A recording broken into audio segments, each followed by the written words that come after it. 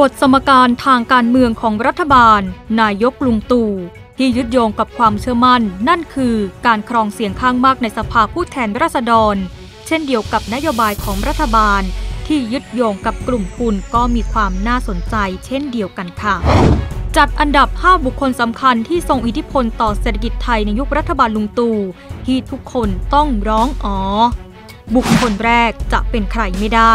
นอกจากลุงตู่พลเอกประยุทธ์จันทร์โอชานายกรัฐมนตรี กับอีกหนึ่งบทบาทคือหัวหน้าทีมเศรษฐกิจตลอดปี 2562 นายกลุงตู่ต้องเผชิญกับโจทย์หินและคำถามแทงใจเรื่องเศรษฐกิจ ปัญหาของแพงค่าครองชีพสูง คนตกงาน โรงงานเจ๊ง จนนำมาสู่วาทกรรมทางการเมืองของฝ่ายค้าน นั่นคือเศรษฐกิจเผาจริง ไปจนถึงรัฐบาลสอบตกแก้เศรษฐกิจค่ะ แต่ถึงอย่างไรนายกลุงตู่เคยบอกว่า ศรษฐกิจไทยไม่ได้ถดถอย แต่เป็นเศรษฐกิจเติบโตช้านั่นเอง บุคคลที่สองรองนายกรัฐมนตรีสมคิดจาตุศรีพิทักษ์ที่เฟดตัวจากหัวหน้าทีมเศรษฐกิจลุงตู่หนึ่งด้วยความเก๋าบวกกับฝีไม้ลายมือ ในการบริหารเศรษฐกิจระดับชาติ ซึ่งทุกครั้งที่เศรษฐกิจไทยเกิดอาการภาวะจากเศรษฐกิจโลก หุ้นตกหรือเกิดมรสุมที่นักลงทุนต้องการความเชื่อมั่น เขาคนนี้มักจะออกสื่อ เพื่อเป็นกระบอกเสียงให้กับรัฐบาล การันตีเศรษฐกิจไทยอย่างแข็งแกร่ง บุคคลที่3หมอหนูอนุทินชาญวีรกูลรองนายกรัฐมนตรีตลอดปี 2562 หมอหนูอนุทินถูกกล่าวขานจากนโยบายกัญชาเสรี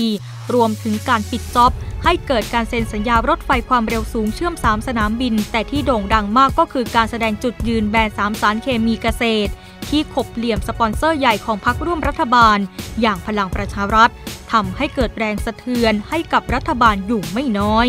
ต่อกันที่บุคคลที่ 4 ค่ะ ผู้ที่ทรงอิทธิพลต่อเศรษฐกิจไทยนั่นคือเจ้าสัวธนิน เจียระวนนท์ประมุขใหญ่ของเครือ CP ซึ่งในรอบปี 62 ต้องยอมรับว่า กลุ่ม CP ได้เข้ามามีบทบาทต่อรัฐบาลนายกลุงตู่อยู่ไม่น้อย นั่นเพราะทุกโครงการใหญ่ระดับชาติ มักจะมี CP เข้ามาร่วมด้วยอยู่ร่ำไป จนฝ่ายค้านหยิบยกปรากฏการณ์ที่เกิดขึ้น กลั่นวาทกรรมเด็ด เอื้อเจ้าสัวมาโจมตีรัฐบาล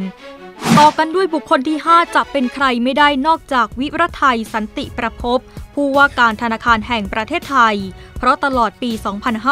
2562 ผู้ว่าแบงค์ชาติคนนี้ถูกจับตาเป็นอย่างมาก โดยเฉพาะท่าทีเกี่ยวกับการบริหารค่าเงินบาท ทุกครั้งที่ผู้ว่าวิรไทยให้สัมภาษณ์สื่อ นอกจากจะเป็นเรื่องทิศทางเศรษฐกิจแล้ว เขามักจะให้สัมภาษณ์ในประเด็นที่ทำให้สังคมต้องฉุดคิด โดยเฉพาะเรื่องหนี้ครัวเรือน ที่คอยบั่นทอนเศรษฐกิจไทย และนี่คือ 5 บุคคลที่ทรงอิทธิพลต่อเศรษฐกิจไทยในรัฐบาลนายกลุงตู่ซึ่งในปี 2563 ยังคงต้องจับตาท่าทีของบุคคลเหล่านี้อย่างใกล้ชิด เพราะนี่คือหนึ่งในผู้ที่จะกำหนดทิศทางเศรษฐกิจไทย